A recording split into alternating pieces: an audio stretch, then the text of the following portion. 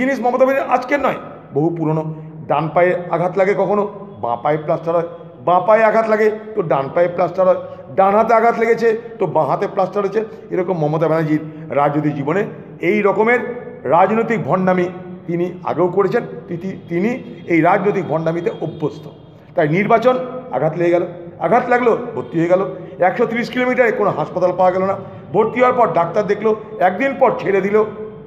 তারপরে তার wheel chair দরকার পড়ল, সব সাজানো নাটক।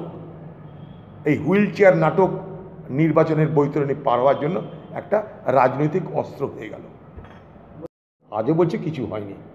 ক্ষমতা যদি থাকে, আপনারা পিজি হাসপাতালের এক্স রেটাকে চেক করার জন্য একটা কমিটি করুন, দেখতে পাবেন। কিছুই হয়নি। প্রথম দিন থেকে উনি এটাকে রাজনৈতিক ভণ্ডামিতে রূপান্তরিত করেছেন। ছোট ছোট কয়েকটা আপনাকে বলতে চাই। কয়েকটা বিষয় তুলে ধরতে চাই। মনে করুন, নন্দীগ্রামে ভয়ঙ্কর অ্যাক্সিডেন্ট হলো, হামলা হলো, পুলিশ থাকল না, হামলা যারা করল, তারা পায়ে মারলো, আর কোথাও মারেনি ওনার কথা অনুযায়ী।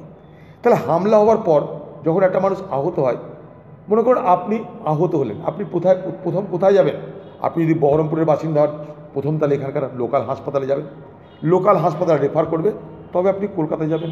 কলকাতা পারল না, দিল্লি যাবেন, বোম্বাই যাবেন তাও না হলে বিদেশে যাবে, এটা তো নিয়ম। মমতা ব্যানার্জির ভাইপোর যখন অ্যাক্সিডেন্ট হলো, চোখে লাগল, তাকে সিঙ্গাপুরে পাঠানো হয়েছিল। এখানে তাদের চিকিৎসা পছন্দ হয়নি।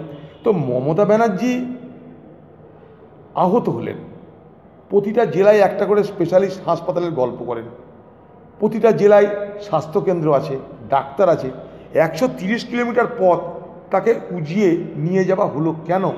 যদি তার প্রকৃত আঘাত লাগতো তাহলে তো স্থানীয় হাসপাতালে প্রথমে দেখানো উচিত ছিল। প্রণব মুখার্জি তাকে চলতে চলতে তার দুর্ঘটনা ঘটেছিল বেথুয়া ডৌড়িতে কী করলাম আমরা? বেথুয়া ডৌড়ি স্বাস্থ্যকেন্দ্র, সেখান থেকে কৃষ্ণনগর, সেখান থেকে তারপরে দিল্লি নিয়ে যাওয়া হলো তাকে। তো মমতা ব্যানার্জি আহত হলেন, তাকে চিকিৎসা করতে একশো তিরিশ কিলোমিটার টেনে আনা হলো কেন? তার মানে আঘাত গুরুতর নয়। তার মানে আক্রমণ গুরুতর নয়। কারণ তিনি স্বাস্থ্যমন্ত্রী, কোনো হাসপাতালে ভর্তি হতে তার কোনো অসুবিধা হওয়ার কথা নয়, কোনো ডাক্তার দেখাতে তার কোনো অসুবিধা হওয়ার কথা নয়, একশো তিরিশ কিলোমিটার উজিয়ে নিয়ে এসে তাকে সরকারি হাসপাতালে ভর্তি করা হলো। সরকারি হাসপাতালের কোনো ডাক্তারের ক্ষমতা আছে? মমতা ব্যানার্জি যা বলবে তার বাইরে কিছু করার। তাই ওইসব এক্স রে ভুয়া এক্স রে আরও বলি, আজকের বাজারে যে ধরনের হাড়ে, পায়ে চোট লাগলে, যে ধরনের জিনিসপত্র পাওয়া যায় যদি মমতা ব্যানার্জি বলেন, আমি সাপ্লাই দিতে পারি তাকে। হুইল চেয়ারে উনি নিজে দৌড়াতে পারবেন এখন এই অবস্থায়। যদি উনি বলেন, ওনার পার্টি যদি বলেন, আমি সাপ্লাই করে দেখিয়ে দেবো। অর্থাৎ এটা কিছু না, যতক্ষণ ভোট ততক্ষণ উনি আহত। আহত হয়ে মানুষের দরজায় গিয়ে সহানুভূতি ভিক্ষা করছেন। এটা বুঝতে কোনো অসুবিধা হয় না কাউরির। কারণ তিনি হেলিকপ্টার উঠছেন, সোজা পায়। বাড়ি যাচ্ছেন, সোজা পায়। তারপরেই তিনি আহত হয়ে হুইল চেয়ারে বসছেন। হুইল চেয়ার এখন মমতা ব্যানার্জির নির্বাচনী প্রচারের মূলধন কারণ তাকে হুইল চেয়ারে বসে বসে থাকা অবস্থায় প্রচারের মাধ্যমে যদি তিনি মানুষের সহানুভূতি আদায় করতে পারেন আপ, উনিই বললেন, প্রথম দিন কোনো পুলিশ ছিল না, আমার উপর আক্রমণ হলো। আমাকে মেরে দেওয়ার চেষ্টা করা হলো। সেই মমতা ব্যানার্জি চব্বিশ ঘণ্টার মধ্যে পাল্টিবাজি করে, যাকে বলে রাজনৈতিক সামারসল, রাজনৈতিক পাল্টিবাজি করে তিনি বললেন কি, এটা ধাক্কা লেগেছে।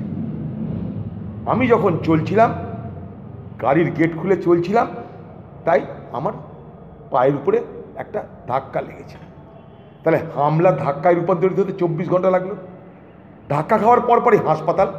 এমন আঘাত হয়েছে, একদিন পরে ছুটিও হয়ে গেছে। মনে করুন আপনি হাসপাতালে ভর্তি হলেন। একদিন পর ছুটি দেওয়া মানেটা কি? মাইনর বিষয়। গুরুতর হলে নিশ্চয়ই একদিন পর ছুটি পেতেন না।